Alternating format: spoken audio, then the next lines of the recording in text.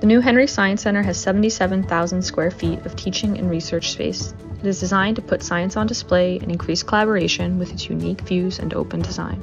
The Science Center has 14 teaching labs, 12 specialized research labs, 8 lecture halls, and many casual learning spaces.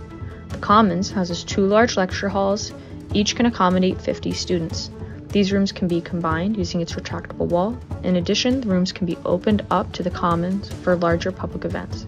The building also houses five small group rooms to support student collaborative learning and much more. Some of the special labs and spaces include a state of the art cadaver lab suite, which has locker rooms, an anatomage table, prep area, and an electronically enhanced lab area. There's a mammal vivarium with three holding areas and surgical procedure spaces. There's an invertebrate and aquarium room capable of supporting more than 24 aquariums. And there's a tissue culture suite supported with a cold room and protein analysis lab space. The campus community is very proud of the new building, which supports one of our critical concerns as a Sisters of Mercy institution environmental sustainability. It is very green environmentally with at least a silver LEED rating.